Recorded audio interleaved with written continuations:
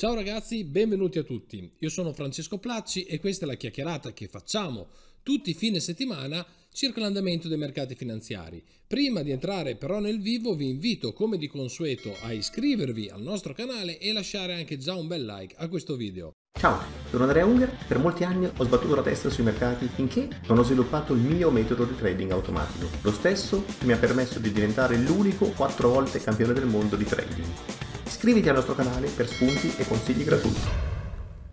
Settimana non facile per i mercati, vediamo scendere l'azionario, l'obbligazionario, i metalli e salire soprattutto gli energetici e i cereali, quindi in realtà nulla di nuovo rispetto agli ultimi mesi. Questi movimenti sono in parte derivati dalla, dai brutti dati sull'inflazione USA e quindi dal timore di un'ulteriore stretta sui tassi, che ha impattato soprattutto sull'andamento degli indici azionari e obbligazionari. In questo grafico vediamo il mini SP 500 che perde questa settimana un 4,32%, un brutto ribasso soprattutto negli ultimi due giorni e lo stesso possiamo dire per tutti i principali indici azionari, quindi Nasdaq, ma anche eh, Eurostox e DAX. Male anche l'obbligazionario, come accennato in precedenza, con il T-Bond che perde l'1,22 e avevano accennato un rimbalzo i bond, ma nel corso delle ultime settimane si sono praticamente rimangiati tutti, eh, tutto o quasi il rialzo che c'era stato e questa situazione vale sia per i bond americani che per il decennale europeo, per il Bund, che si trova addirittura su dei minimi. Eh, ovviamente chi va bene eh, sono i mercati energetici, lo sappiamo, questo dipende dall'andamento del conflitto tra eh, Russia e Ucraina che eh, comporta delle pressioni su questa asset class. Vediamo il crude oil che è arrivato a ridosso dei massimi recentemente toccati, anche la benzina si trova su massimi veramente importanti, insomma un po' tutto il settore energetico è sotto pressione. Continua inoltre la sottoperformance dell'andamento dei metalli che al di là del fatto che spesso vengano considerati dei settori eh, beni rifugio in cui eh, appunto andare ad investire nei momenti di incertezza ultimamente stanno facendo veramente male. Guardiamo i rendimenti a tre mesi, sono tutti negativi, rendimenti a un anno, eh, lo stesso discorso, quindi sottoperformance del settore dei metalli. Cos'altro c'è di interessante da notare? Sulle soft commodity continua il run up del succo d'arancia e del cotone e come eh, già detto mercato molto forte anche quello dei cereali. Eh, oggi diamo un'occhiata alla soia che è uscita da questo trading range, anche molto ampio se vogliamo mm, essere sinceri, però è, è, riuscito a rompere questi massimi importanti e un po' come tutte le commodity del settore eh, dei cereali si trova su massimi importanti, anche in questo caso figli della pressione su questo mercato che deriva dalla, dal conflitto tra Russia e Ucraina.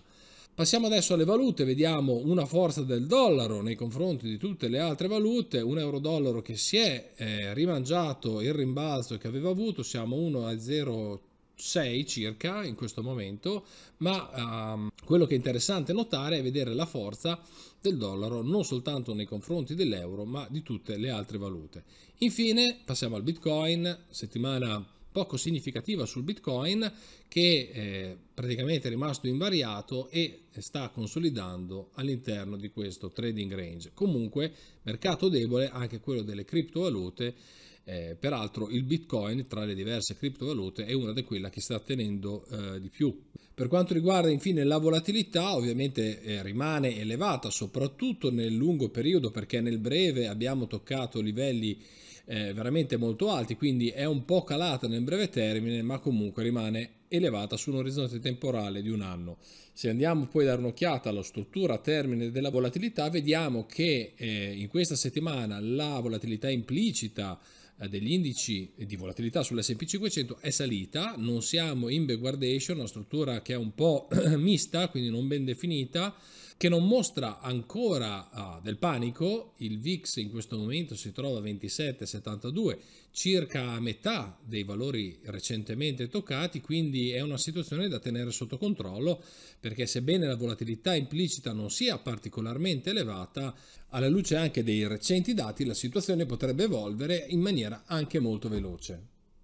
Passiamo ora al calendario dei rollover. La prossima settimana sarà la giornata delle tre streghe, quindi la scadenza degli indici azionari. Saranno pertanto da rollare eh, gli indici europei, DAX e Eurostox, FIB, eccetera.